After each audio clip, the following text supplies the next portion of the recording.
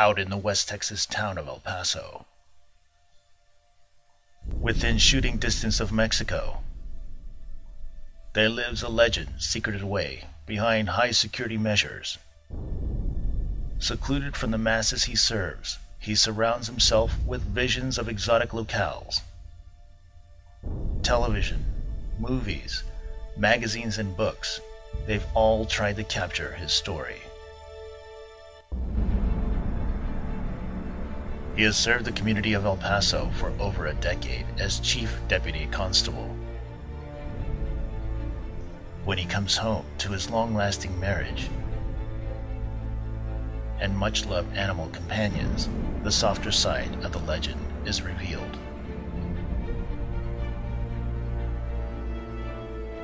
It all started in the late 50s. He creates a private investigative agency, The Investigators. The 70s, Marlon Brando's son is kidnapped. The investigators rescues him. To this day, he takes cases from around the world. He is J.J. Armes. My name is Jay Armes, and I'm a native from El Paso. At the age of 11, uh, I had a, a, mishap. A friend of mine brought a uh, box of uh, torpedoes, which are uh, dynamite caps for that they use on the railroad. And he asked me to open up the box, and I did. He was 18 years old. I was 11. When uh, I opened up the box, he says, "Take some of those uh, caps out and just rub them together." So I took some of those caps, two, two caps out, and I rubbed them together, and they blew up on my face. They called one of the best surgeons that they, they could find. Uh, that surgeon uh, stated that he was he had to uh, amputate my hands at the wrist. I woke up right next to uh, to some bright lights on the on the skylights, uh, and uh, and I looked at my hands, and I asked the Lord, "Why, why me? Why did you take my hands, Lord?" And then at the same time, I answered myself, and I said, "It wasn't the Lord that took my hands; uh, it was the devil that took my hands." Because the Lord is our Father, and He wouldn't He wouldn't uh, take your hands. Then the skylight got real bright, and that's the way my life has been, real bright, because uh, you are what you want to be, and uh, I've, I've, always been told by my parents uh, to be the very best at whatever I chose to be. The reason that I've chose chosen to to stay in El Paso because I could live any place in the world that, that I would want to uh, live. Uh, El Paso is where I'm from, and uh, uh like in uh, in the Bible, it says in Matthew 13:57, it says, "And a prophet not will not be recognized in his own town," and that's what happened to the Lord. And I guess I've been trying to prove a point that uh, uh, no matter where you came from, uh, the Lord was a, a carpenter's uh, son, and I'm the butcher's son. My father was a butcher, a meat cutter, and uh, I became an investigator. And so I, I, I say that it's, it's, a very interesting field, and I, I did want to be a doctor because I was pretty good with my hands. But at the age of 11, that's when I had that mishap happen. And, uh, but it worked out. I guess the Lord uh, didn't want me to be a doctor at all. Uh, he wanted me to be uh, something different. Uh, he had something different in mind. What, what do you think uh, people want to say about you upon your demise? And I want them to, to say that Jay Armes was a truthful person and he was uh, uh, he was very very tenacious. He would work on a case until he arrived at the truth. And i would like people to remember uh, that about uh, jay armes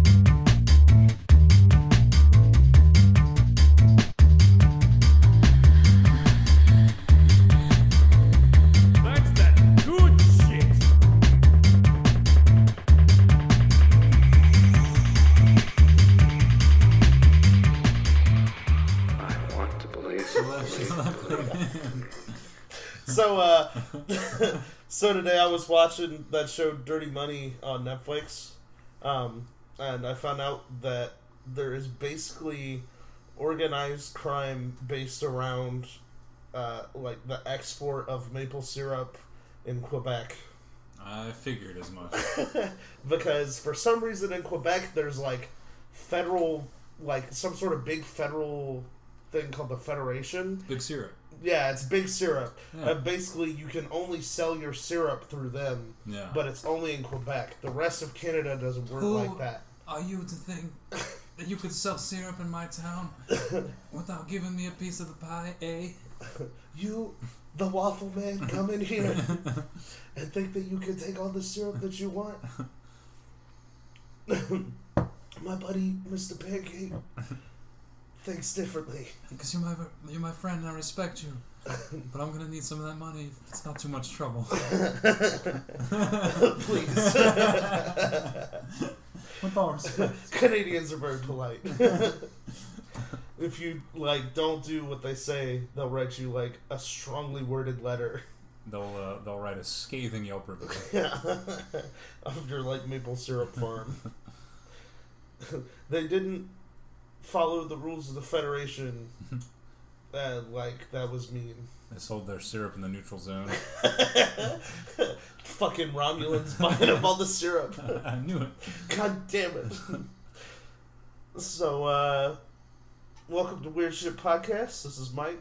This is Ryan. This is Mike. You're not Mike. I'm Mike. Shit, we've got two mics now. We this got. is getting out of hand. Now We- there are two of them. we might have three mics if you count the mic. That is true. Cut. so uh, today we're covering a person that I actually found out about from my recent trip to El Paso, who is the man, the myth, the legend, the Mister J J Armes. Have Okay. I you ever heard of J J Armes? I have not. How many arms does Mr. Armes have? If you were to take a guess, how many would you think that Less Mr. than two. Armes had? That's actually a really good guess. how many? Uh, how many arms do you think J J Armes has, Palmer? None. Well, 38. So, uh, JJ Armes is a uh, private investigator uh, originating out of El Paso, Texas, in like the 60s and 70s. And this guy. Uh, That was like the golden age of being a PI, wasn't it? yeah, it was like it was like dames and fast cars and cocaine and et cetera, et cetera. And the dude was uh, Pretty sure cocaine was until the 80s. you're not until the 80s.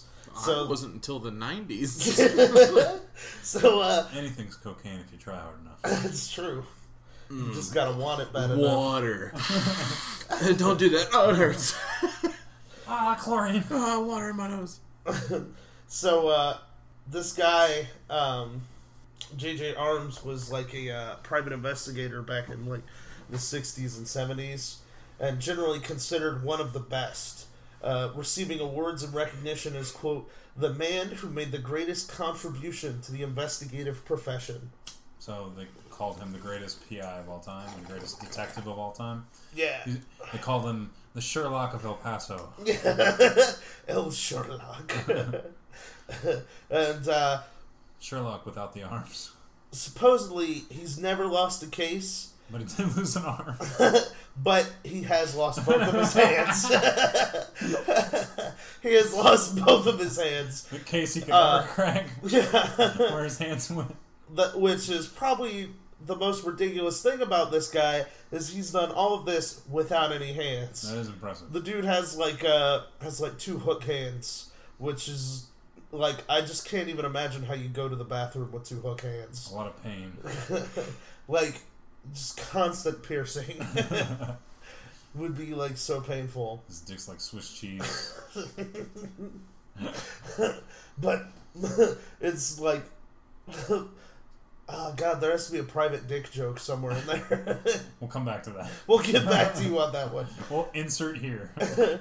his dick has multiple private eyes? I don't know. We'll get to it. So uh, basically at like uh, the age of 12 uh, jj armes like hanging out with his friend. His friend's like hey man you want to see something cool? Jj armes is like gee golly willikers i don't know but i guess off. i guess we'll go take a look And, Check like, out this knife. uh, like uh, so they go to the kid's house and the kid pulls out these things that he found which were railroad torpedoes Wait. What? What? What is Okay. that?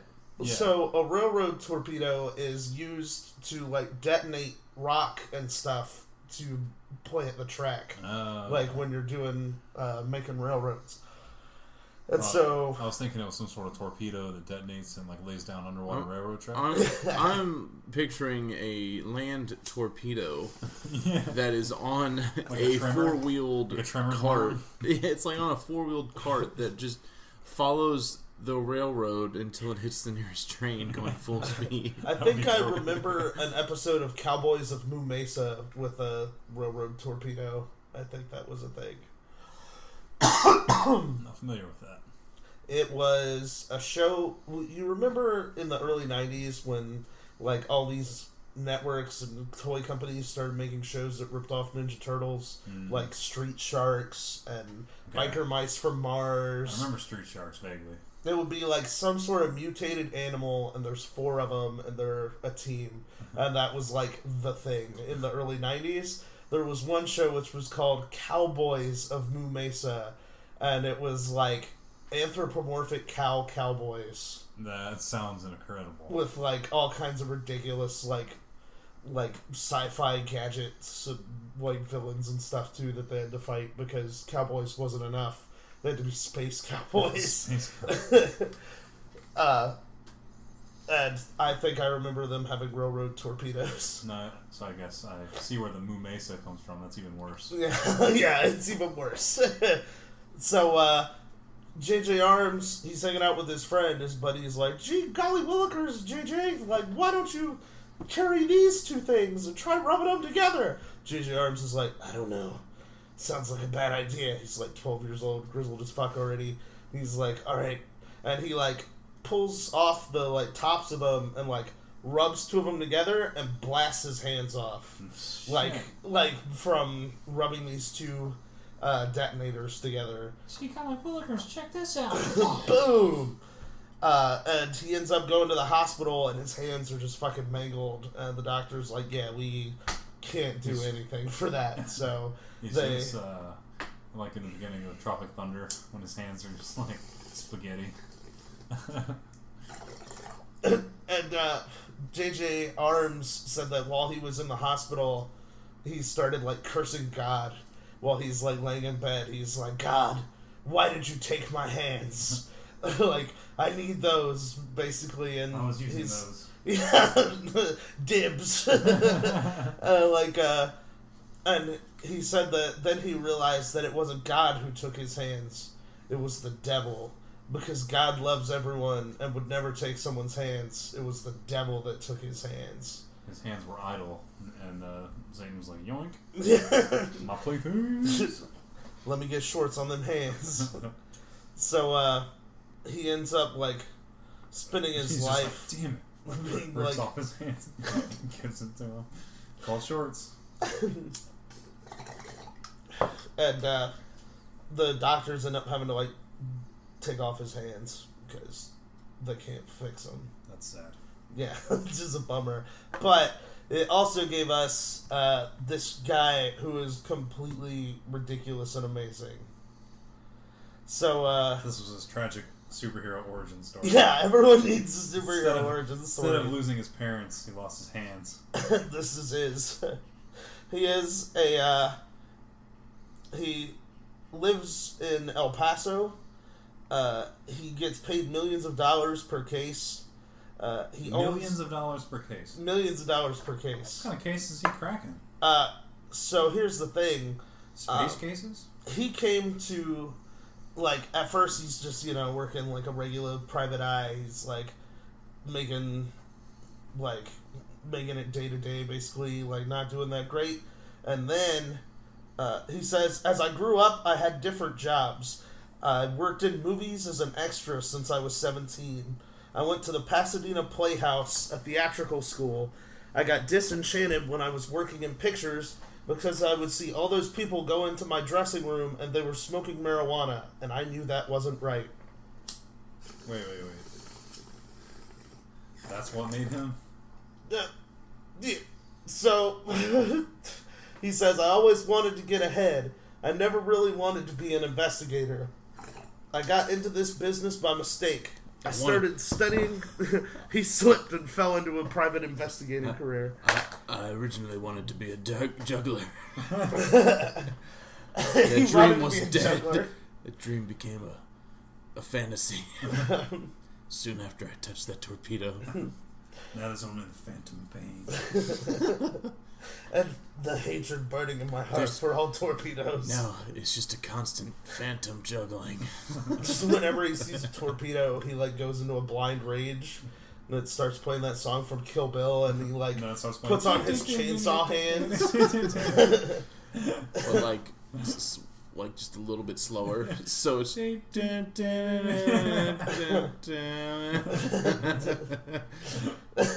So uh, he says, um, uh, I got into this business by mistake.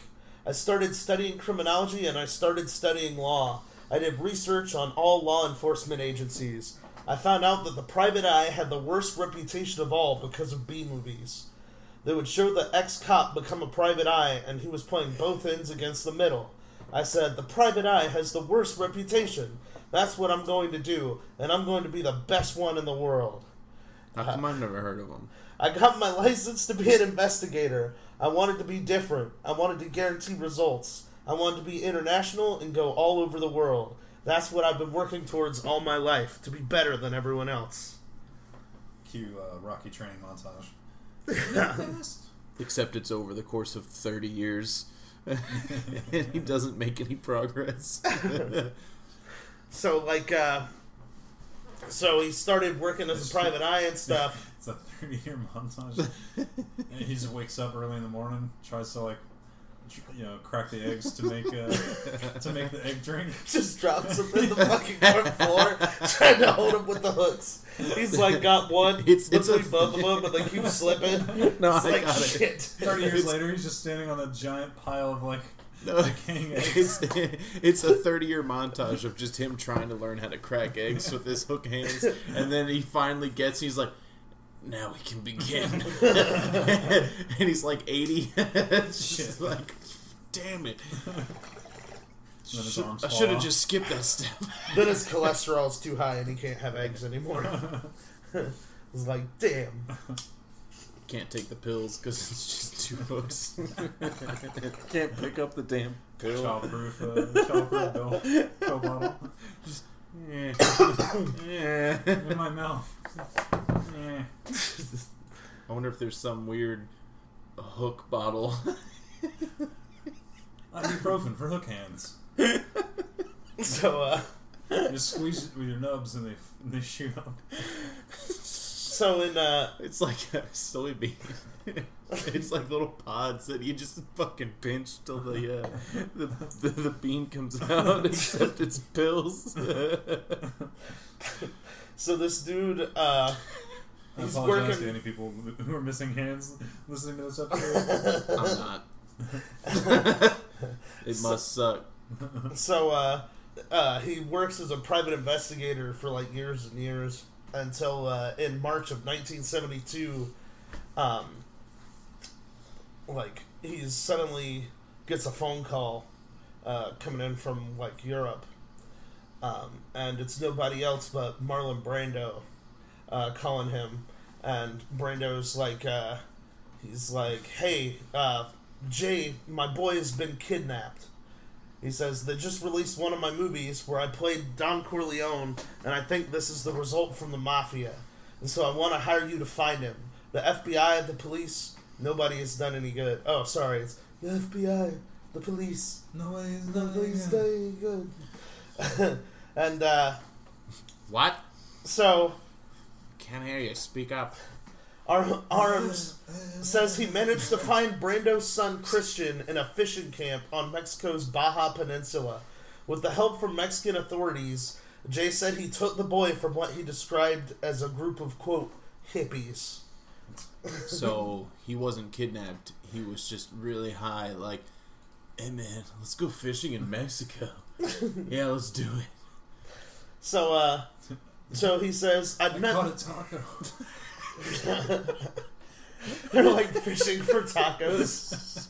They're just like They have like a, fishing equipment, but they go up to a taco stand and they're just like, They're like behind Senor Frogs with like a string with a hook on it, like trying to like get shit off of people's plates. they're just like, they just like you see like one of those taco trucks, and like they're just sitting there with fishing poles, and the guy's just staring at him from behind the counter, and he's just like slowly putting the fishing pole through the front of the truck, just like lowering it down See- into the stand. Supposedly they were fishermen. I like thinking of them as being fishmen because Yes. that would explain why he has the two hook hands in the first place. That'd be Because like who a- else would be better at dealing with fish people? It's like a shape of water situation. He's just like he's just like fucking like Zatoichi cleaving through fish people with like his hook as like he makes his way through He's this just doing that camp thing of like hippies. where like you put your finger in someone's mouth, but to people, that's how he deals with them. It'd be fucking ridiculous. Fish hook. oh, you ass. So uh, he says, I'd met Marlon Brando in my younger years when I was working in pictures. We used to hang out together, and when I became a private investigator, I sent him a note and explained to him if he ever needed anything. Uh, and that's when that's why he says he got the call from Brando. I'll believe it. Wonder if like he ever makes coffee and like stirs it with his hook hand and then forgets that it was in the coffee, so his his like hook hand's really hot now. And then it's like, hmm, and like touches himself on the head to think, you know, and then it's like, ah, fuck, that was all hot. the time. it's like the worst problem when you have no hands. That's the worst problem. Yep, burning yourself. He says, uh, he says, I flew a helicopter and I landed on a school ground. Wait, wait, wait, wait. I hired, I hired wait, wait, five wait, federal wait, police to follow me in a jeep. No, I don't how think so. Does a guy with hook hands fly a helicopter? Very carefully. Is What that he- why he landed on a what school? he meant to say, on, what he kids. meant to say is he attached his helicopter attachment to his stump and used that to like fly and landed that. He just has probably- like a weird assortment of uh God, what's it? the the gadget? yeah, it's like uh, Inspector Gadget. Inspector Gadget No, he- things for he- claws. He Go just, go Abrams helicopter hands. He just takes off his uh, takes off his claws and like attaches helicopter blades. He's like, everybody stand back.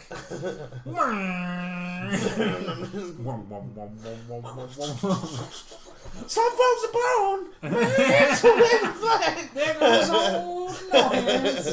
And then he lands, and then they just turn into katanas. He's Starts just like- murdering kids He's at that just school. farting napalm. Dude, I would love to he see. passes over the fish. I would love to see like a Black Dynamite style cartoon show about this guy where he's like fighting ninjas and like the ninjas bust through the windows around him and he like transforms his hands into like katana hands and starts like fighting them with those. You That'd be killed my master. Pray to die. fucking My hands incredible. Were removed once by katanas. now they are katanas. He says, uh, Joke's on you. He says, I flew a helicopter and I landed on a school ground. I hired five federal police to follow me in a jeep. I searched by air. I took off searching by a bunch of caves by the walls of the ocean. I searched for four days. Uh, the following day, the fifth day, I was searching close to the ocean and I saw the Volkswagen. Half of it was in the bushes. I landed nearby. I checked the license plate and it was the one I was looking for. Where was the other half? If half of it was in the bushes, Dead. where's the other? Oh, okay. There were a bunch of sleeping bags in the caves, eight of them. I had scoped out everybody. I got my 30 caliber and went in there. I unzipped the sleeping bags and got them all lined up with their hands Wait, on the wall. Wait, how, how's he using the gun? How did he unzip a sleeping bag? That's my question. I feel like that's easier to do because I'm thinking he has those hook hands that like bench or whatever. the benching ones. but like, it still doesn't explain how he flies a helicopter or like uses a gun. Gun attachment. Yeah, I mean that's the only thing I think. Here's of. the thing: this guy literally has gun attachments. This guy literally made prosthetics for himself, like that he can shoot a gun with by like twitching his bicep, and it'll like fire the gun. That's very dangerous. it's incredibly dangerous. For you. But don't worry, because he's highly trained. don't worry, because he's highly trained. He is also a black belt in karate, Of course he is. and therefore knows how to keep from accidentally flexing that bicep and uh-huh. shooting someone. Yep. He says, uh, "I got my 30 cal and went in there. I unzipped the sleeping bags and got them all lined up with their hands on the wall. The last sleeping bag was Brando's son. I recovered Brando and flew him to Los Angeles and called his house. Marlon Brando answered, and I said, "I have Christian with me. I found him." Uh, yes. This is Taco. You have done such a wonderful thing for me. Thank you. Oh, oh, oh wow, it means so much to me. And then he passes out. Wait, I have a kid? He was on a lot of drugs. I'm gonna run to the store real quick and get some cigarettes. I'll be right back. script. Just tell me the lines on that uh, earpiece. I am the Lord Jesus Christ. Please leave your number after me. Are you an assassin?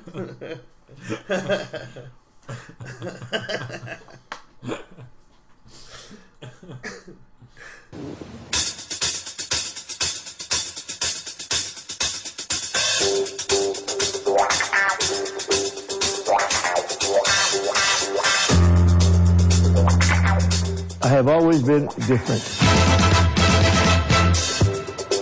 Puede sonar surrealista, pero el investigador privado J.J. Arms, cuyo nombre podría traducirse al español como JJ Brazos, vive buenos tiempos en una de las regiones fronterizas más afectadas por la guerra del narco. Toda una jauja, gracias a la violencia, en Ciudad Juárez.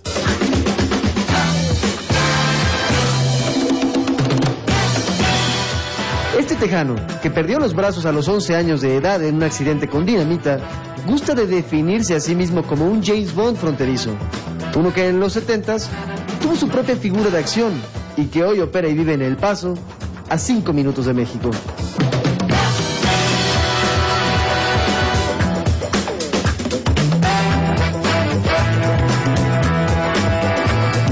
Desde hace 50 años, Arms dirige una empresa conocida como Los Investigadores, que se jacta de haber resuelto casos como el secuestro del hijo de Marlon Brando en México, allá por 1972.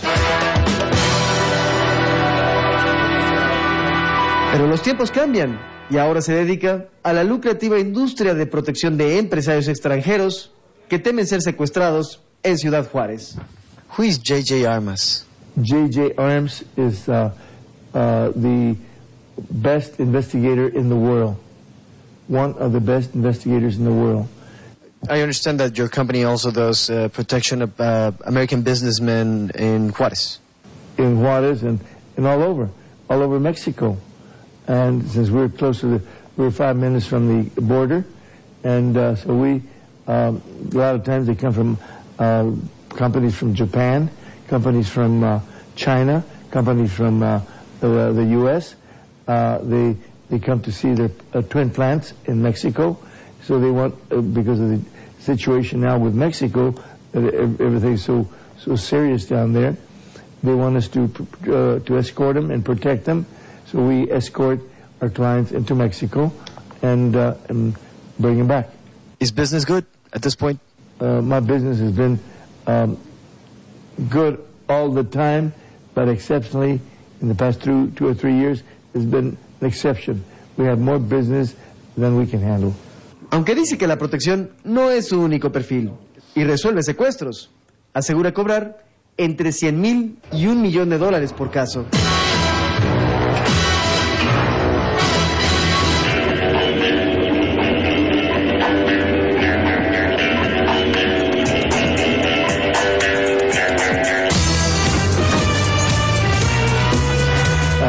Um, 70 kidnappings in Mexico.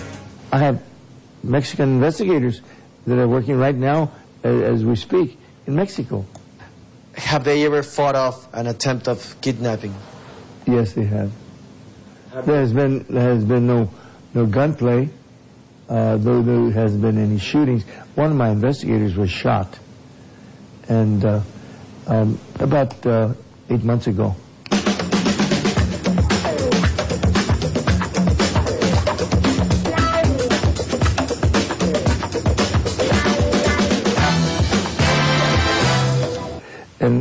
Love animals so much that uh, I had them taxidermied and uh, brought them to my office because I love animals. And uh, like I said, uh, we had uh, uh, I had black panthers, black panthers, and this one got in a fight with one of the tigers because he got into the tiger's cage, so he was killed.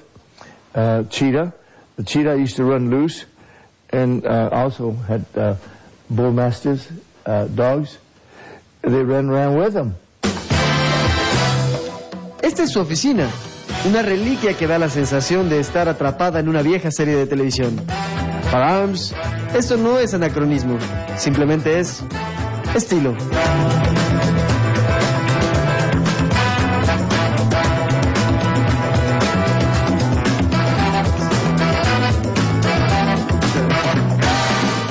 Este no es Muammar Gaddafi.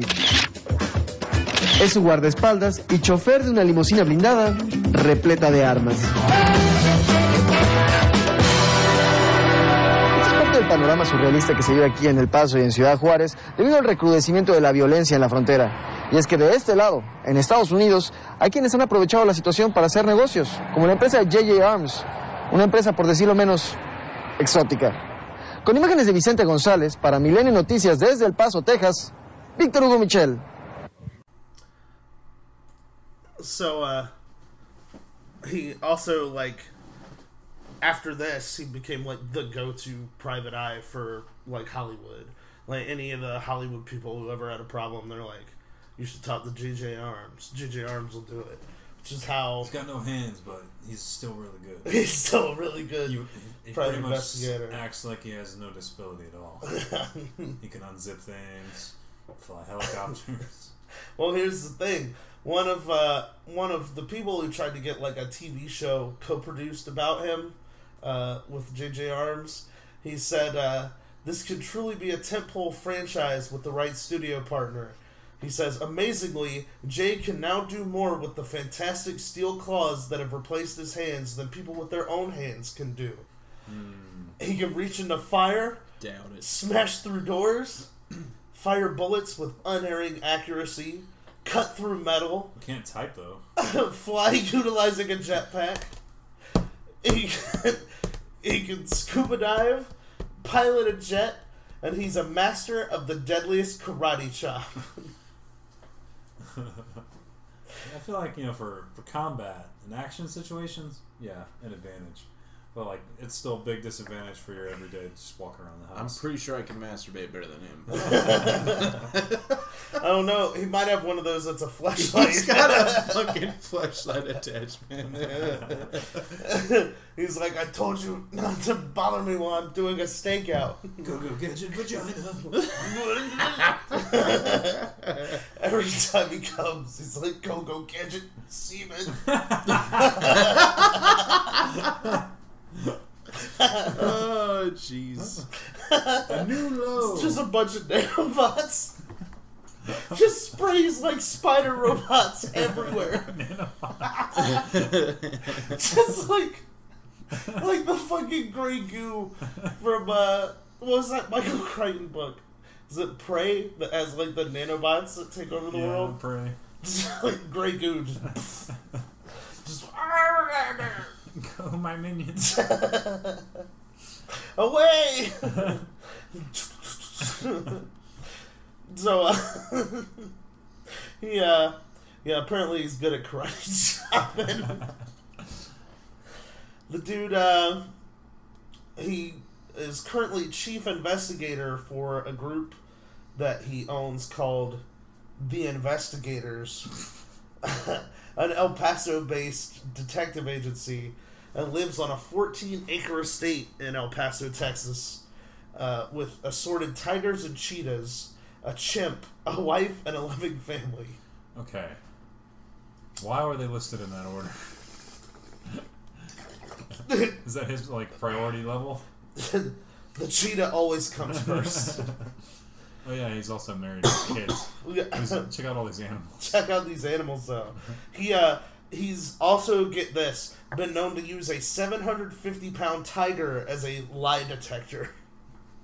Th- This guy has cheetahs and tigers, jetpacks, can pilot a helicopter, has replaceable gun hands, so you can like put fucking like guns on his hands. I feel like they couldn't make a movie about this guy because it's just too awesome. It's not believable. Yeah, nobody would believe it. This guy's too ridiculous. He's like the six million dollar man combined with like uh, Chuck Norris.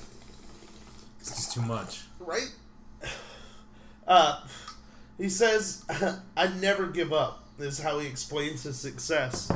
Um, in his autobiography, uh, he's like, "This is like a bit of like what his like day to day life as a detective is like." He's in his autobiography. Armes relates an experience he had with a client who'd hired him to get the goods on her husband. It turned out that the husband, a well known actor, was having an affair with another man. Distraught, the client made a pass at Armes, revealing her breasts and asking, Is there anything wrong with these?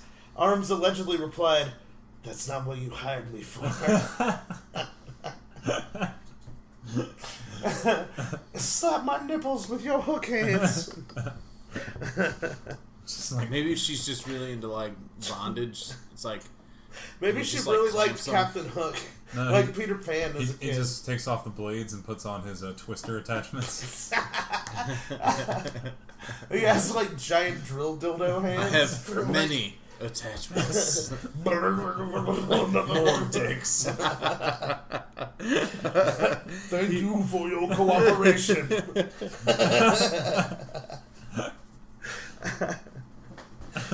yeah, it's pretty ridiculous. Let me see. At the flex of a bicep, I can make you orgasm. Go from flaccid to erect at the moment's notice. Flaccid, erect, flaccid, erect. Erect. flaccid. He also uh, drives around in a Rolls Royce and uh, has built into his artificial right arm a revolver that fires a 22 Magnum shell. Jeez. It's just Awesome. built in under the hook, or yeah, like it's like in the arm. So, so, um, like he can just kind of like and like flip the hook up and just yeah, that's what I'm assuming. This guy is like the most inspiring story I've ever read. I know he's incredible. he sounds like the kind of guy who went, "Damn, I lost my hands. Guess I'll become like. I guess I just better make these some sick ass attachments." Guess I'll just become a millionaire action hero, private investigator. What have you done with your life lately? Nothing compared to this guy. Nothing compared to this Even guy. with my double hand advantage. Dude had no fucking hands. I feel like now listening to the story, it's a double hand disadvantage. I think so. think of I how think little. everybody should just go out and cut off their hands. Think of how little meaning your life has, and then think about how much less it would have if you cut off both of your hands. I feel like I would gain And meaning. this guy, this guy is like made it a positive because he's ridiculous. Yeah, he is. So uh, he uh, maintains offices around the world, which employ 2,400 people. Uh, he has a list of clients that includes politicians, royalty, and show business executives such as Elizabeth Taylor, Elvis Presley, Marlon Brando, and Yoko Ono. What's a politician? Is that like a, a, a food taster? They have good palates.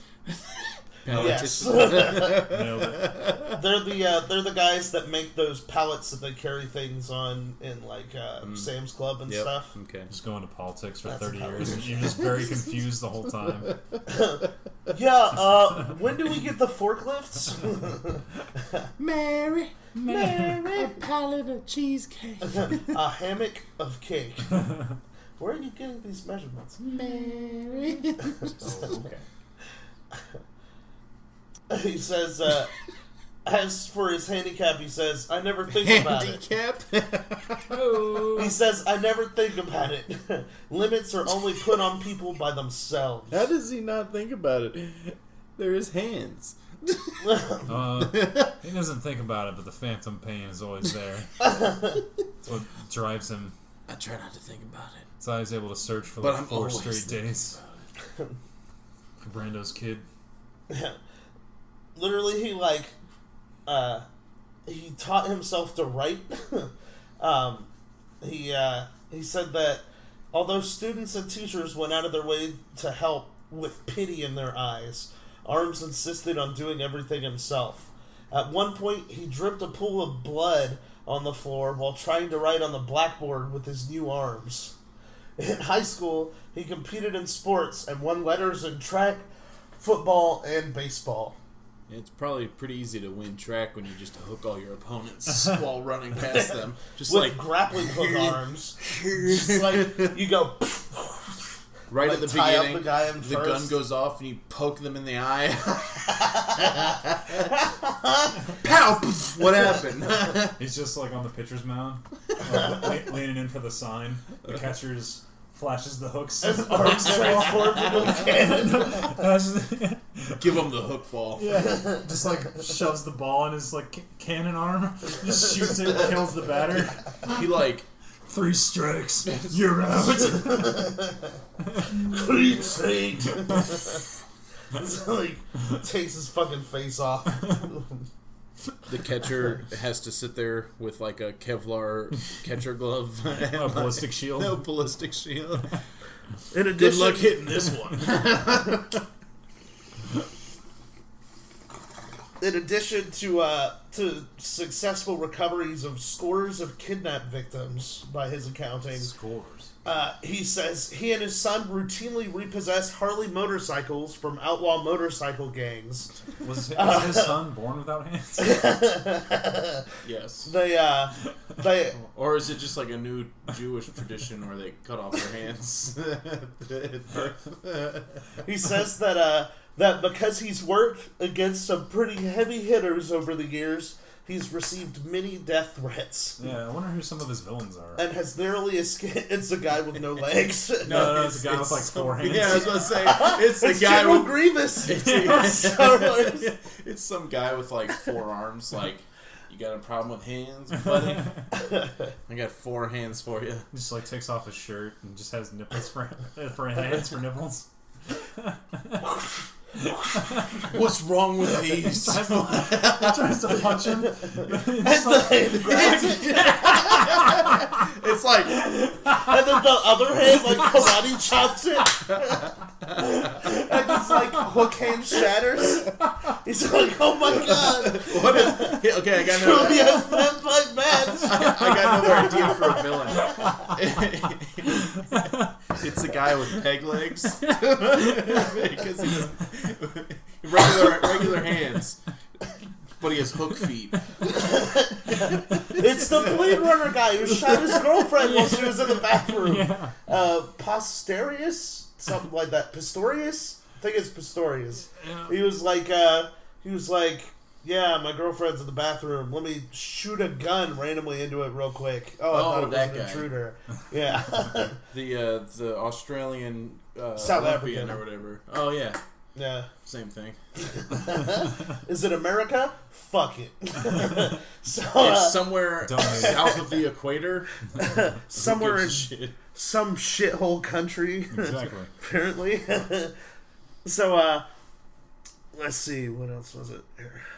Uh, when asked if there was ever a case he wasn't able to solve, he says, I have a contract that I negotiate with my clients. I tell them, you hire me, you hire my services, but you cannot get anybody else involved. There are cases that I've started, but then they start getting attorneys involved, and I withdraw. So, like, he'll fucking pilot a jetpack and a helicopter and shit to find No your kid. lawyers. But you bring a lawyer in that room, he can't help Forget you. it. Forget about He it. hires uh, Charlie's uncle with the, the small hands. Nobody look! Nobody look! that was probably one of my favorite scenes in that show. Nobody look! Oh my god. Maybe Charlie's uncle would be one of his villains. He's with like the giant prosthetic hands. Fighting like his hook hands. He has, And like, he's the, like, You have two perfectly good hands. No, they're too small. just like the giant foam fingers. We're lawyers. Mickey Mouse is one of his enemies with those giant glove hands. Yeah, he says that mostly uh, the most common cases he gets hired for are missing persons cases, uh, wayward husbands, and wayward wives. He says we do industrial investigations, industrial espionage, industrial sabotage, or attempted homicide. You can walk in with any type of case and we can handle it. We work all over the world. What's. Does he not do non industrial things? What, is, what does he mean by industrial? Investigations or industrial Yeah, espionage. what, what is that? I'm Why assuming it's like companies trying to skirt around regulations or something. That's what I would think. I don't know why he doesn't do regular espionage. It's like below his pay grade. I'm surprised he can sabotage things and get away with it. Yeah, he's pretty recognizable. So, uh, Hmm. he's like, uh, There's only two hook prints on this weapon. let's, let's see, we just hired CC Legs. Hello, CC Legs, how are you? I'm good. I'm definitely not JJ Armes in a bad disguise. uh, let's see. He says, uh, what's your favorite weapon? He says, my favorite weapon is the American 180. That's my signature weapon because the American 180 is a machine gun and you can put it on your arm and shoot it with one arm and put your aim on the target and it's that accurate. Yeah, that sounds like a pretty good weapon. He says to carry would be my revolver. That's what I prefer. Uh, how many times have people tried to assassinate you? Well, let me tell you, there's been so many assassination attempts. When you take a case, 50% of the people love you. The other 50% hate you because you've helped incarcerate their brothers, sisters, cousins, and husbands. I guess that's all the henchmen that he fucking like incarcerates makes up like 50% of the world population. All the people he disemboweled with his hook hands. it's like it's like uh, the fucking hallway scene from uh, from the raid, except with hook hands. It's just like That's every investigation he like goes on. stabs into a dude's thigh and like drags the hook through it. And like, oh fuck, No! JJ Armes, stop! He's like, I can't. I need justice. Dirty stinking hell of a town. and just revolvering people in the face. Uh, he says uh, they don't realize why. They hire you to conduct an investigation and you get the evidence and they get sent to prison. They feel that you're the one who sent them to prison. That's why they attempt to assassinate you. to me, it's part of the work. Just another day on the job. I bet he blends in pretty well with his hook hands and his fucking Rolls Royce he drives around in. this is like not everyone spot him coming. he uh, he's also into exotic animals. Um, and he has owned a baby elephant, black panthers, cheetahs, ostriches, emus, African lions, rhinoceroses, tapirs, porcupine, and more, as well as chimpanzees and tigers. He's gonna have like a whole badass zoo before long. Yeah, like uh like I was talking to Priscilla about this guy and she said when they when she was a little girl you could hear like tigers roaring on the other side of like his fence. That's Cuz awesome. like he's in this giant ass mansion in the middle of like a working class neighborhood. But there's just this giant mansion with like his name on the front gates. and a bunch of dangerous exotic animals. Yeah, and a bunch of dangerous exotic animals inside, I guess. Which is pretty nuts. I just imagine he's like buck naked, like with a big ass steak on it, one of his hooks, just like feeding the, the tigers. it's like one of his hands is a fishing pole. it's like fishing for tigers in the middle of like India. Here's uh here's something from exploredallashistory.com. about him. Uh, it says uh, J.J. Armes has created quite a persona for himself, but we're going to break it down to fact or fiction. So uh, I'm going to read you guys a fact or a fiction, and you tell me what it is. Okay. Okay. Uh, born Julian Armas in 1932. Fact. It's a fact. Uh, he's had 13 attempts on his life. Fact. False. He's had way more. Yeah, it's false. it's good. Uh, he's uh, a helicopter pilot. Fact. Fact. That's actually fiction. He has no license, so if he is piloting helicopters, he's doing it without a license. Well, I guess you know technically they're attachments, so it's not like an actual. it's not an actual. That's how he gets around it. You don't need a license for a part of your body. That's right. Except hookers. He's uh, graduated from several prestigious universities. Fact. Everything's a fact. No, that's fiction. Uh, he's got um, 2,000 agents around the world working for him. Fact. Yeah, uh, apparently there's record of zero agents working for him. but he's got over 2,000 around the world. So don't worry about it. Uh, he speaks seven languages, including 33 dialects of Chinese. Fact. False. Thirty-three dialects. 33 dialects fucking shitting me? of Chinese. Just one fucking language. 33 dialects. Oh yeah, yeah, I believe that shit. I believe it. I That do. sounds Fact. right. Fucking Chinese accent dialect attachments. He's also gone on top secret He has a undercover jobs in China and Cuba. Wait. The Well, one obviously. in Cuba, he used the fucking hang glider to like deliver like ransom money. Well, fact. Yeah, that's fact. I mean, well, the the reason I think that one's fact is because obviously he knows all those Chinese languages. Like, Thirty-three of them. yeah, he just has an attachment that's a uh, a translator. and he goes, he speaks English into it, and it comes out tricorder. something else. Hello, bonjour. no, no, Chinese. Come on, Shake it. Hello.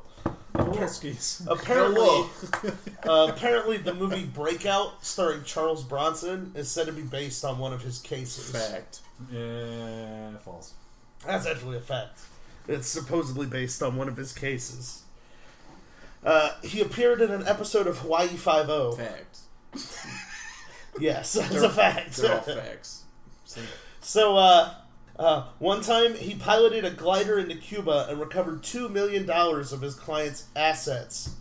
Uh, of the famous Mexican prison break, another helicopter caper, which he said inspired the Charles Bronson movie Breakout.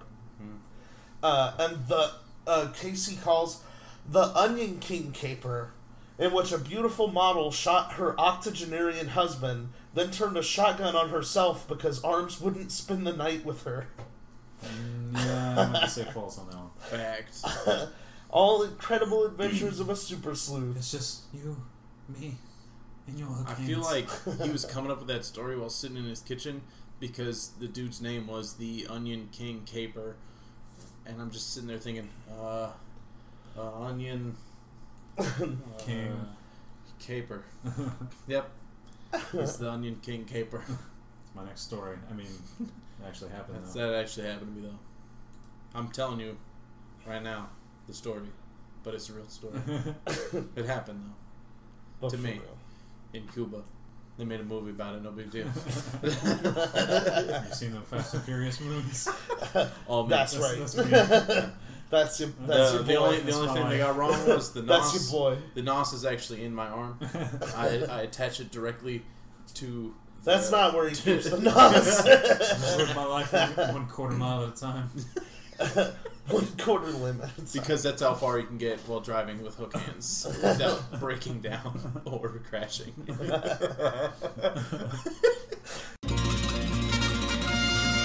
You can walk into my office with any type of case, and I can handle it, no matter what it is.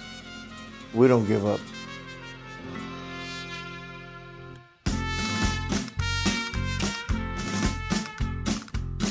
This is JJ Armes, and he's maybe the world's most famous private investigator. I don't say that I am. People say that I am. Back in 1958, Armes founded the Investigators. The Investigators is a company that was established by J Armes to conduct every type of investigation. We cover the whole spectrum. And like all legendary heroic figures, Jay has triumphed over tragedy. When I was uh, 11 years old, a friend came over to my home, had a box of dynamite caps. They exploded, had blown my hands off at the wrist. So young Jay was outfitted with prosthetics, and he managed to turn, Turn a negative into a positive. Exactly. Here's JJ Armes petting his white Siberian tiger Simba, and here he is with his 53 year old pet chimp, Gypsy. And here's Gypsy with Jay's son, Jay. So, Jay, how many cases have you solved? Hundreds of cases all over the world. Can you be a little bit more specific? You ask an artist, how many paintings have you done? He can't tell you, I've done 20 paintings or 200 paintings. I take my craft like an artist. And he's had some pretty famous clientele. The most famous case was Marlon Brando. He says, Jay, somebody has kidnapped my son Christian. He gave me the information where the boy was kidnapped from. Legend has it that JJ Armes tracked down Christian into the jungles of Mexico, flying his helicopter and staying up for five days without food or water until he came upon a camp with eight armed men. I heard him coughing in a little tent. I went into the little tent, and that was uh, Christian Brando. He didn't know me. He sees this guy with two hooks, so he thought I was one of the bad guys. I said, No, no, your father hired me. For JJ Armes, what was once an impediment has become an asset and has led to a long, fruitful career. I've been doing this type of work for over 45 years. How old are you, Jay? Oh, I'm about 150, At 150, but I'm really not 150. at not 150, it's safe to say most of JJ Armes' adventures are behind him. But he's not slowing down anytime soon. No, I have more work now than ever. Jay, do you see yourself as a legend? How do you want to be remembered? On my obituary, J. Armes did it his way. One liner. And that's it.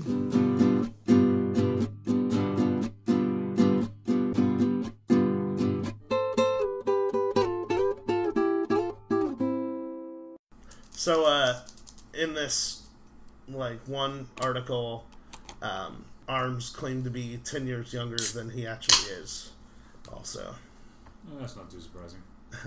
Uh, the Federal Aviation Administration has no record of his airman certificate, but what he did have was action figures. Of course. and, like, the action figures, you could, like, pull off his hands and put different gadgets and stuff on there instead of uh, instead of his actual hands. Even Stan Lee like approached him about making a comic book about him.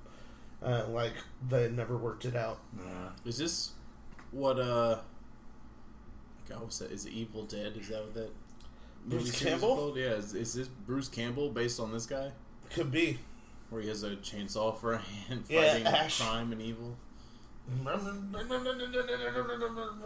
That'd be really cool. He should have done the chainsaw hands, but instead he has like a revolver hand, a machine gun hand. I love the revolver hand idea. That's that's awesome. Yeah, that's pretty cool. Does wa- it like cock with uh, a flex of his bicep? Probably. Hmm. you flex it one way, it cocks. You flex it another way, it like fires. It's like tricep flex, bicep flex. Then the kickback breaks his shoulder. yeah, So- how does that work? Would it just like turn into a machine gun by accident because he's constantly flexing while trying to reduce, refuse the recoil? Like, is that why he doesn't have a shotgun arm? he doesn't have a shotgun arm because it would just be like. That's why he doesn't have any of the exotic animals left. when he tried to make the shotgun arm. Still shot him all. Oh my gosh. Mr. Muggles, no! so, uh, uh, I also managed to find his website today while I was like snooping around on the internet, which What's- is pretty cool. What's the web address? So, the web address is www.jjarms.com, Nah, that's boring. which is pretty boring, right? But uh, on here, he has a frequently asked questions section. How many hands have you lost? Seven. Which uh, the How questions do you have? questions include things such as how can I tell if my telephone lines are bugged? Uh, do you train people to become private investigators? Is my information kept confidential? And how can I get a copy of Mr. Armes' autobiography, J.J. Armes Investigator? So to, to tell if your uh, your phone is bugged, just put some pesticide in it. Here's a hint. It's bugged. if it catches on fire, and you end up with a rash, it's uh. You gotta listen for that distinct sound that the bug emits. You put you put an egg in a bowl of water, and you start singing the words to Africa by Toto over the egg, and like waving a stick back and forth. And after you're done blessing the rains, you pull out the egg and you crack it open. And if that egg is black, your phone lines are bugged. That's how it works. And if you did all that, you're probably also very stoned. So go ahead and eat that egg. I bless the rains down in Africa. So, uh, Oh, who's that uh, famous composer that does all like the movies and stuff, uh, like Star Wars and John Williams? yeah, you know his son's the lead singer of Toto. That is dope. Awesome. Yeah, I did not know that. Did you know that uh, Doug Jones is uh, I don't uh, know David that is. Bowie's son? Who's Doug Jones? Or is it Doug Jones? Duncan Jones. Duncan Jones. Yeah, is I uh, knew that. David Yeah. Bowie's son. I was like, Who's what? that? He's the guy who made the WoW movie oh, okay. and uh, Moon. He made the moon. Yes. so, uh, so he also has another website here called SpyMall.com, Spy Mall. uh, which you can see they've definitely managed to keep up with the times. I had to accept Flash in order to be able to use this website. Impressive. Here, uh, it looks like it's straight out of GeoCities. It does. This is uh, pretty red on black, green on black. That's good Top for your eyes. Uh, some of the specialized equipment that they sell on the website are law enforcement equipment, tactical gear, surveillance equipment, weaponry, firearms, secure communications, voice changers, personal protection devices, covert video systems, Dial-up modems. wireless video systems, explosives detection, night vision optics, phone line analyzers, custom armored automobiles, Oh, sweet. Typewriters. uh, counter surveillance equipment, Pipes. holsters, specialty ammunition, uh, encrypted cell phones, Spy glasses. locksmithing equipment, Wagon wheels. stun guns, pinhole video cameras, body worn video, and portable x ray equipment. Sherlock Holmes hats. Those badges that say private investigator on them. Aha! Switch! Yeah, that one would be good if they actually sold that shit. Just like, all right, uh, here's your badge and uh, your spy spy equipment. They also sell fake fake hands. Wait, is that real? so the real hands. What's a is a fake fake hand in and of itself It's a real atta- hand? You see it all the time in movies where one of the characters has one of their hands cut off, and they'll do like the CG. They just make their arms huge by putting an extension on their hand that makes it look like they don't have a hand, but their arm is also extremely long. Oh, like like when the, they get their hand cut off, but it's really just a really long shirt. Exactly. Yeah. ah! but they're really just sitting there doing this inside of a really long shirt. Yeah. Just All I know is we definitely got to get hold of this guy if we ever get around to the point where we can start doing live shows, because uh, we We'll should rig up like then. we should rig up the van with a smoke screen system, an oil slick system. I system, do. I do request we have an armored vehicle. sixty thousand volt shock system, run flat tires, a self heating gas tank. I want to get a thing where like you hit a button and the license plate like comes up and it shoots out like uh, giant bladed discs. How does about he sell ejector how about a four corner tear gas deterrent system? I if he doesn't sell ejector seats, I'll be disappointed. or uh, halogen blinding lights. and he only puts them in uh, for you, but you have to convert the roof. So like, He says he can do custom anti-theft systems, so maybe we could do the saw blades thing you're Yes. talking about. Some of that so bad.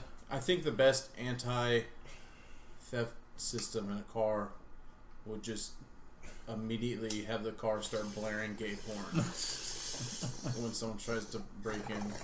And then like another recording of someone going, "Are you watching gay porn? There's no women in that porn. The girls never came. this is gay porn.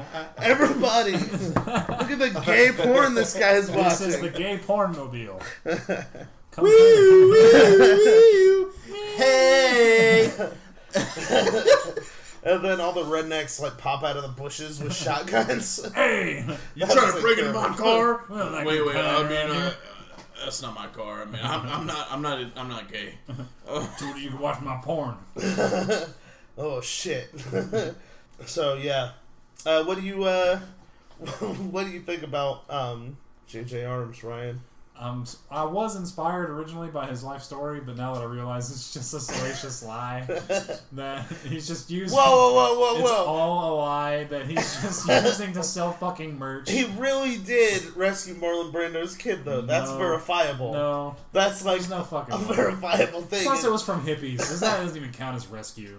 He probably found him He's passed like- out at like Senor Frogs in He's like, he probably just showed up. He's like, "Hey, I brought some Twinkies." Like, "Oh, oh, far out," and then he just walks out of there with the kid.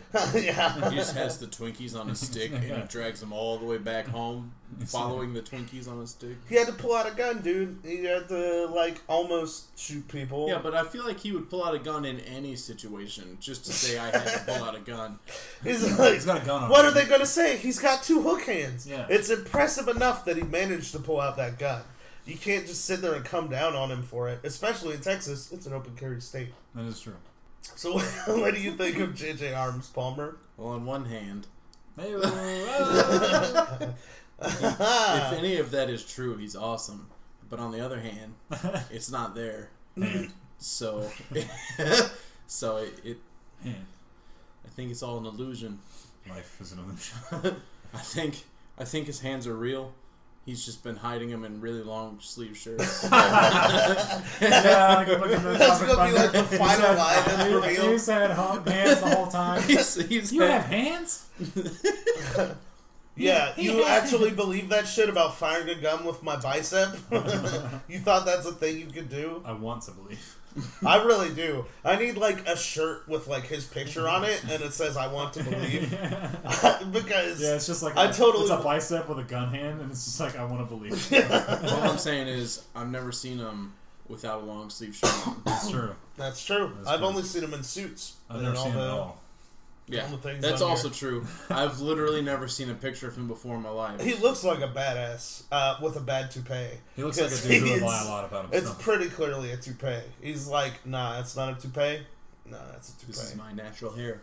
Yeah, it It's like made- squeaks it's- and tries to run off.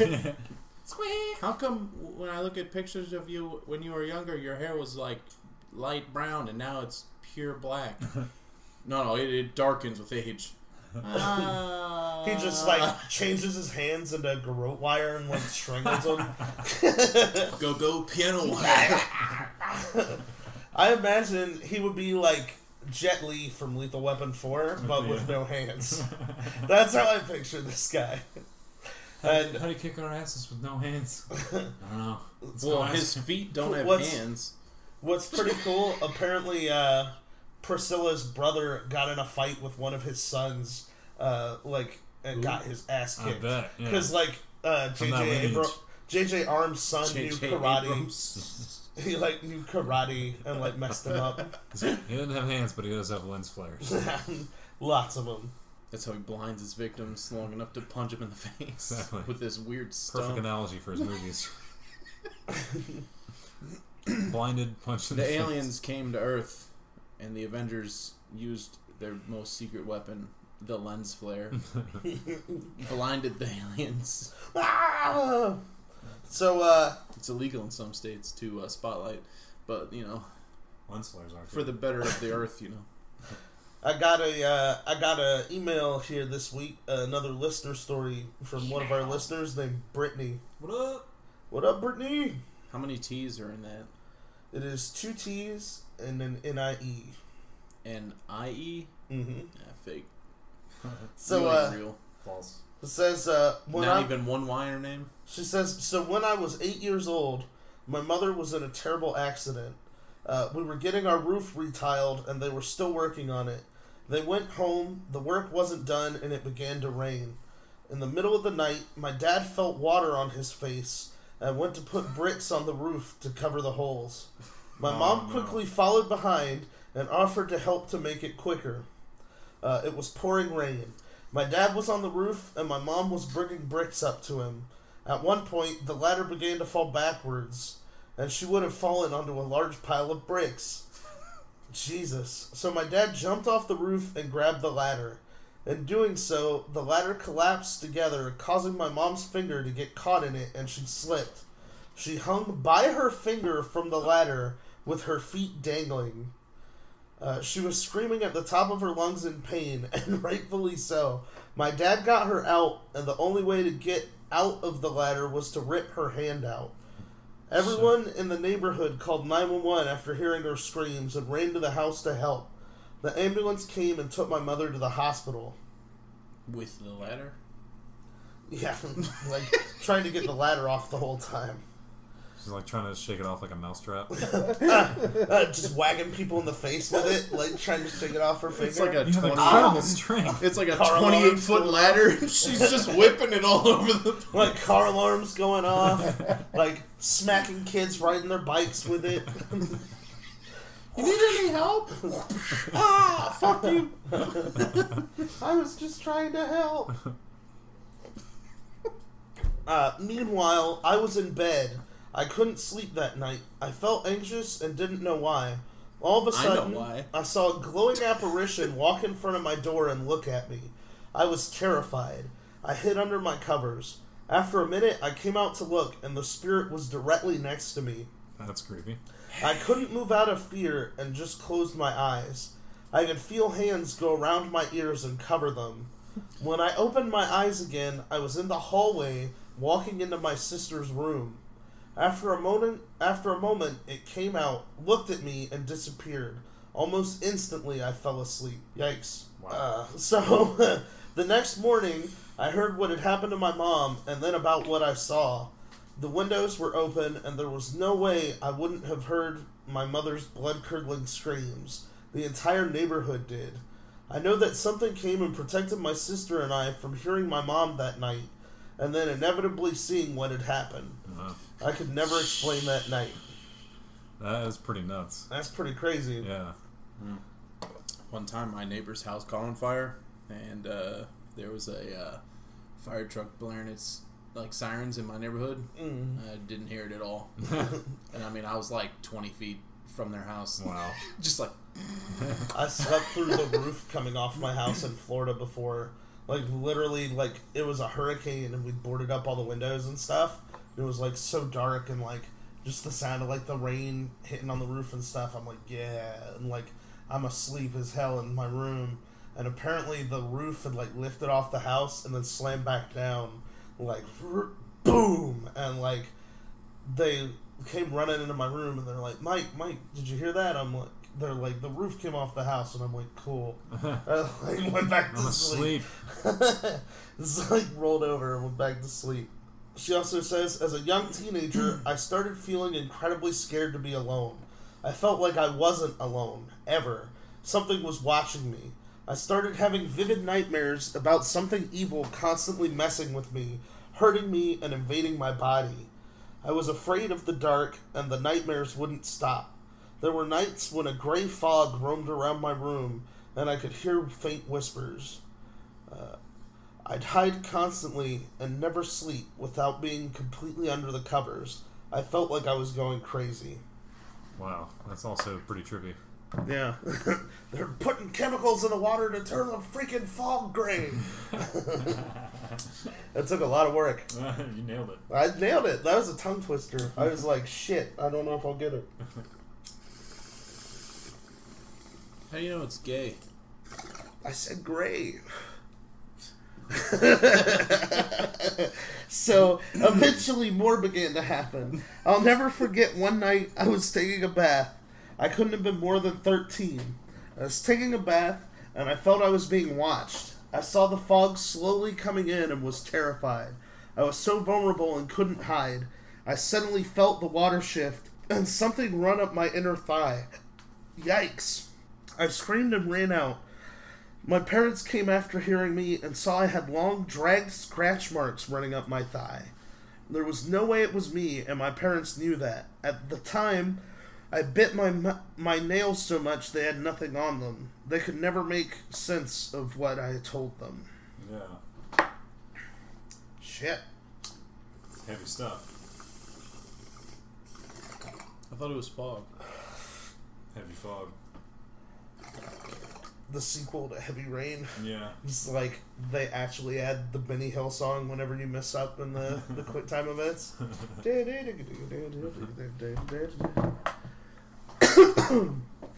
uh, the last incident that I had with this entity was a night I was brushing my teeth before bed. I was alone in the bathroom looking in the mirror. All of a sudden, and for no reason, this large, terrifying, and evil grin grew on my face. I didn't know what was happening, and I couldn't control my body.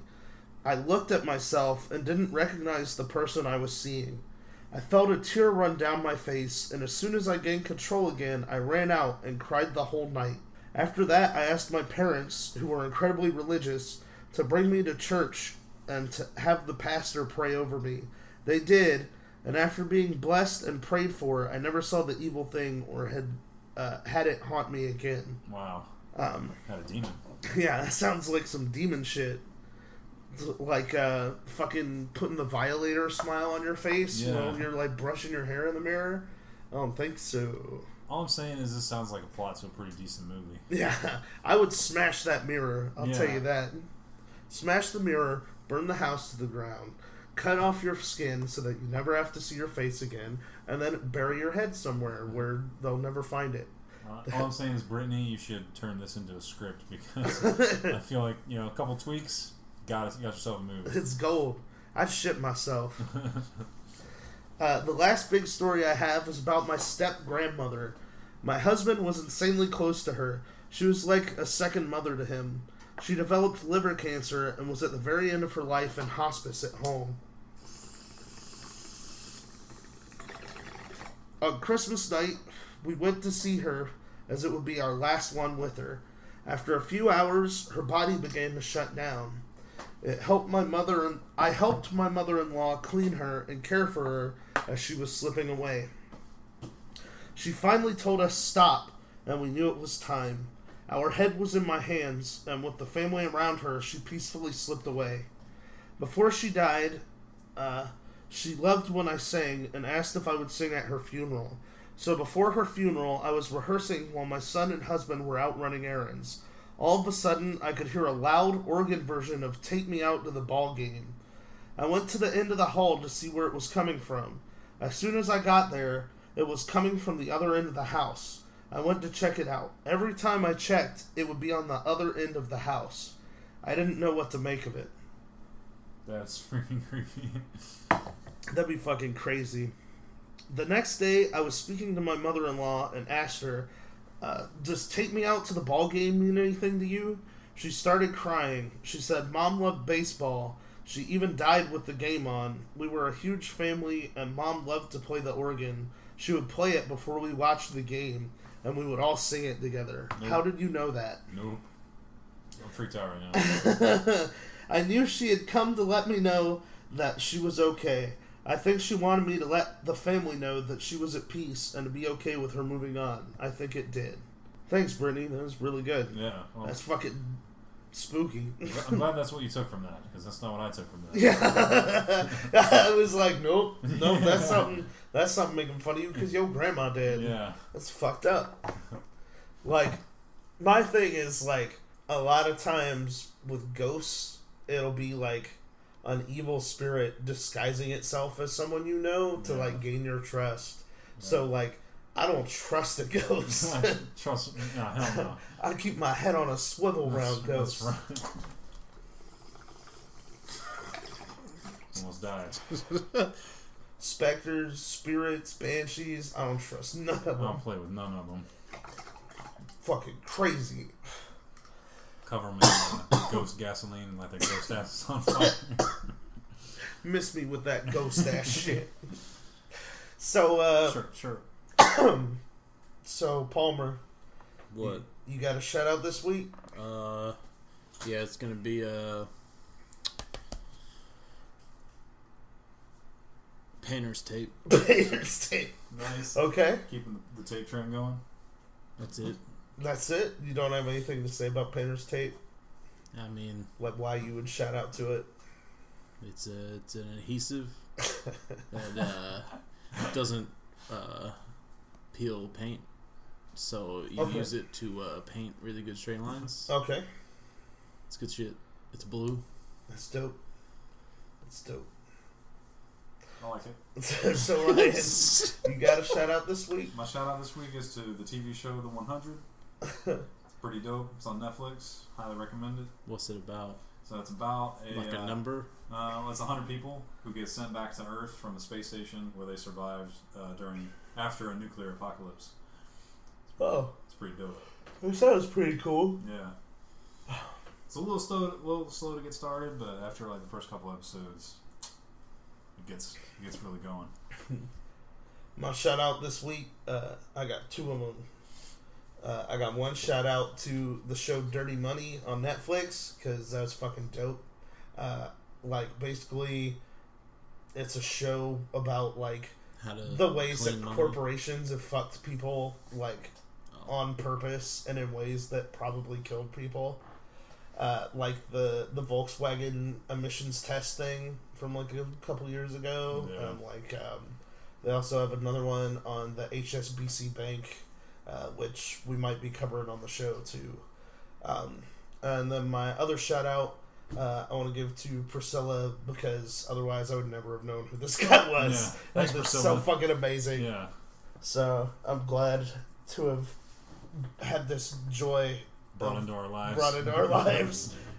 And uh, uh, email us, send us emails at weirdshitpodcast.gmail.com. Smash that like button. Smash that like button on iTunes or wherever it is that you subscribe to podcasts and leave us some good reviews because nothing helps us more than those reviews and those subscriptions on iTunes.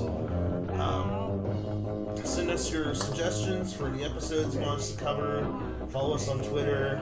Tell a friend. Tell three friends. And uh, Keep it guess- to yourself. Whatever. keep it secret. Keep it safe. And uh, Bad boys for life. ride or die, quarter mile at a time. I like the Fight Club podcast. Don't tell anybody. Now our numbers are growing. Stop telling people.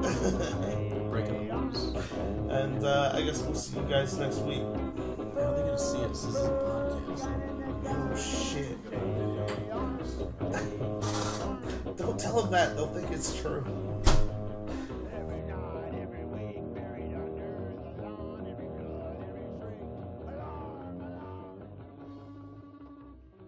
Hey, what up, guys? From Weird Podcast. I haven't heard any messages back from y'all, and I figured I would try maybe be the first. So I was gonna call in and tell you one of my weird stories. So we went to U of A campus in Alabama, and they have an old abandoned insane asylum. So of course, we went and checked this out because we like going on ghost adventures. So it's me, my girlfriend, and two of our other friends. So we're checking this building out. This completely abandoned. There's no power cables going to it. They've done construction on it, partly burnt down. So we're going through, and we're on the second floor, and then we hear something, and it's an old school telephone ring like one of those rotary phones, like.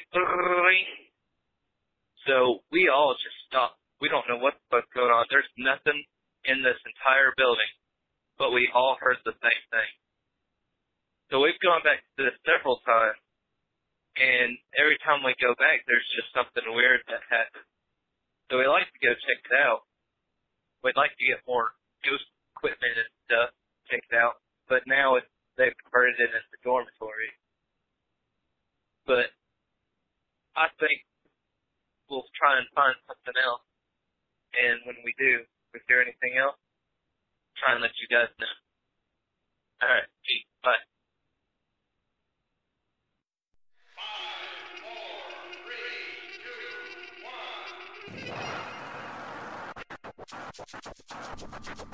Man, that episode was dope.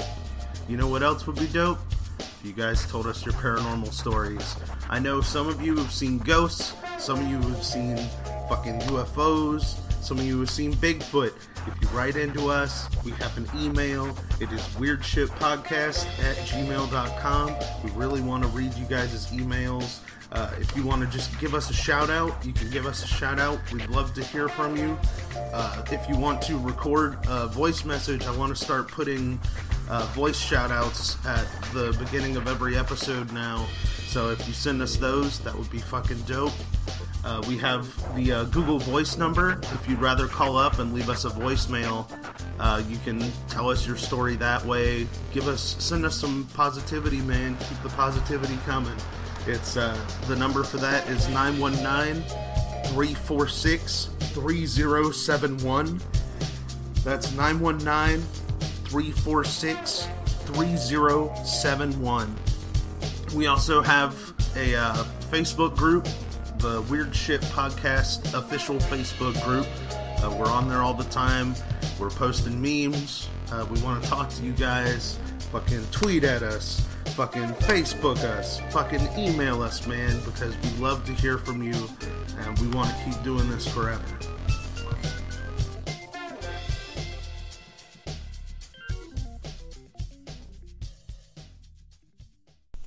Hello, my darlings. I'm Sammy, the host of Encrypted. Every two weeks, I will bring you stories of mystery, true crime, and creepy. You can find me on iTunes or wherever you get your podcasts. Do you have a story? I would love to hear it. You can go to the Encrypted Podcast discussion group on Facebook. On Twitter, you can find us at Encrypted Pod, or you can go to accproductions.org slash encrypted. Don't forget to lock your doors and hold tight to your flashlight.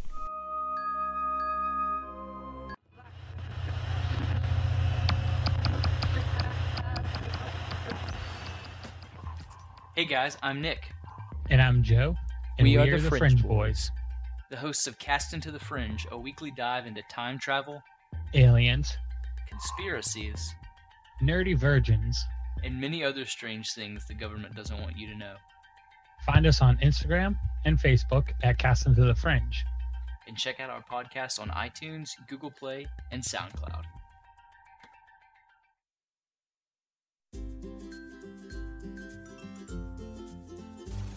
Hi, this is Jim. And this is Annabelle. Together, we bring you the Forgotten News Podcast. We tell true stories from long ago.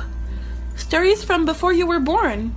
Stories that made headlines for a week or a month, then vanished just as suddenly. We look for these long lost stories, then brush off the dust and share them with you, as fresh as the day they were first told. One thing we definitely promise you the stories you will hear will always be a surprise, and it will be a true story. It might be a crime story. It might be a strange or spooky story. It might be a funny story. If you are someone who might like to hear lost stories like these, then you should definitely listen to the Forgotten News Podcast. The Forgotten News podcast is available on iTunes, also known as Apple Podcasts, as well as Google Play, Podbay, Player FM, and nearly every app for listening to podcasts. I don't know what else to say, except be sure to listen to the Forgotten News Podcast.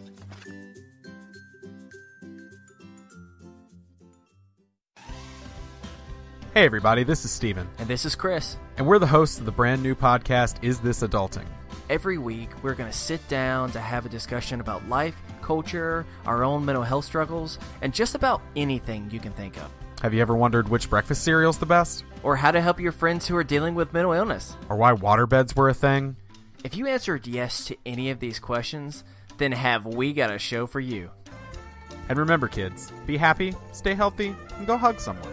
Because you never know, they might just be starting a podcast. Oh, hey there. I didn't see you. I'm Sarah, the host of the Salty Canadian podcast. You want a podcast that is full of fun, rants, reviews, and just random stuff? This is a podcast for you. We can be found on any podcast catcher. And make sure to follow us on Facebook, Twitter, Instagram, and have a great day. Eh?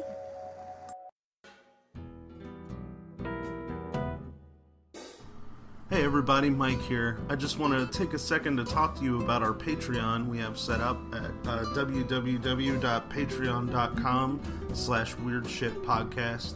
Basically, Patreon is a way where fans and listeners like yourselves can choose an amount every month to donate towards the show. Uh, your donations will be put towards uh, buying new equipment. It'll be put towards uh, buying munchies because fucking Palmer is insatiable. Uh, it'll be put towards uh, helping us pay our dues for hosting the show and for uh, keeping the websites going. And honestly, the main thing it'll help us do is uh, let me take more time to do more research on these topics. I have a full time job. I work 60 hours a week, and then I spend 40 hours doing research for you guys because I love this show and I want to give you the best thing I possibly can. Uh, so if you have uh, any anything you want to give us, if you think we deserve anything for that work, uh, feel free to go to Patreon and donate whatever you can. If not, man, it's cool. Like I love every single one of you, and I'm so glad you're listening. Uh, just share the show with whoever you think would be interested, and we'd love to hear from you. Thanks.